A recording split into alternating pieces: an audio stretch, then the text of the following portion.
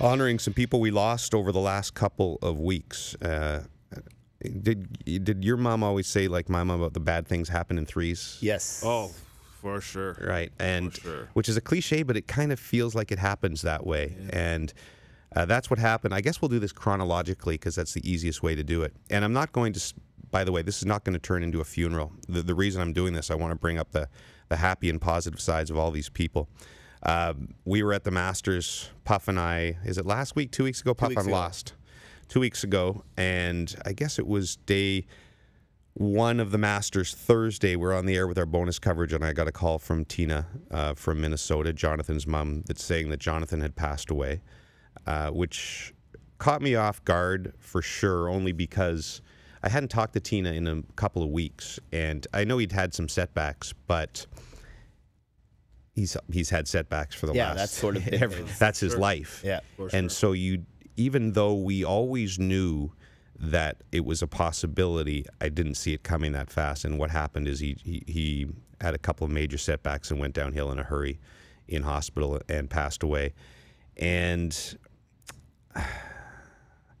that was a tough one uh, just because uh, you know I've talked about it on the podcast before and did you get a, you get a chance to meet him Lester I can't remember I'd never met him. you never got a chance to meet him when he came into TSN. Uh, just the most inspirational kid ever. And when we had him on our Christmas show here, Yep. on, here on the pod. Yes. And this is going to be heartbreaking to listen to because that, that was probably the most positive things had been in the last two years for Jonathan. Uh, if, if for some reason you don't know the story or haven't listened to that episode, uh, Jonathan Pitre is a good friend of everybody's at TSN. He was diagnosed with a disease called EB, which is one of the most painful diseases known to mankind. Uh, they call them butterfly children because their skin is like the skin of a butterfly, and basically any touch of it and it tears apart.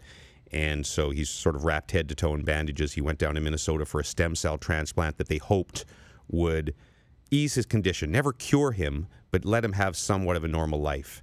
And when we interviewed him just before Christmas time, it was the most positive things had been.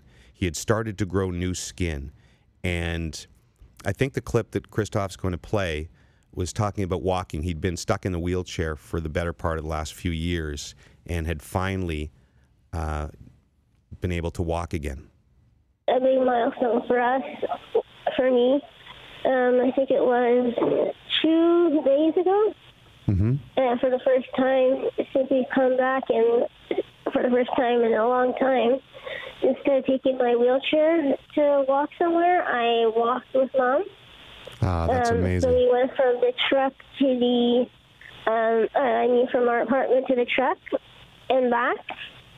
And they only had to take one little uh, breather, and that was like halfway through the first, um, the first part of the walk. And I only stopped for maximum five seconds. And then today, um, uh, I walked from the car to breakfast and breakfast to the car again.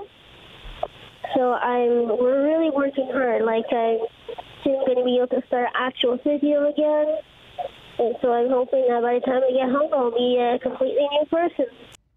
That was Jonathan back in December, and unfortunately, a couple of weeks after that, he he had a couple of setbacks and never really got on the road back. I went to see him at Super Bowl, Yeah. and you know, still so positive and and still so upbeat, but at the same time, I could tell, I think that he was. He was just tired. You know, he wanted. He just wanted to get home and be with his dog. He has a little Boston Terrier named Gibson, and uh, I just he wasn't defeated. He wasn't defeated in any sense. I think like he still still was trying, but it, they'd pushed back the timetable another six months for him to come back. So anyway, I just it. Uh, I think Jonathan's un- unfortunately the timing, and we'll get into Humboldt in a second.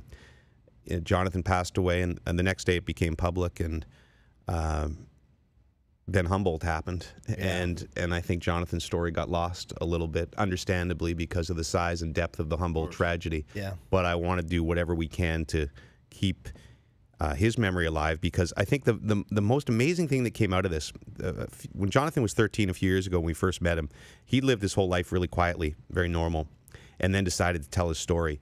And what came out of him telling his story uh, not just for him. Like he got to do a lot of amazing, amazing things. He was a Senator Scout for a day. He got to come on the TSN panel. He got to go on stage at the NHL Awards.